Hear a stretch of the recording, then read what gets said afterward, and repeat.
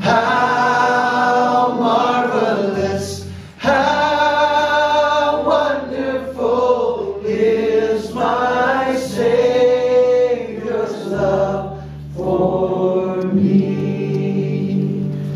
Find out what is Jesus doing and get involved.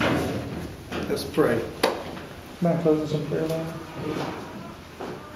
Lord, thank you for this day. Um, I just pray that we. Uh, we just learned to Lord. Just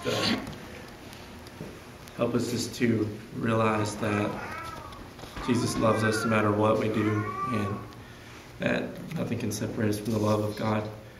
Lord, I just pray for the food. I just pray that you bless it, help it nourish our bodies.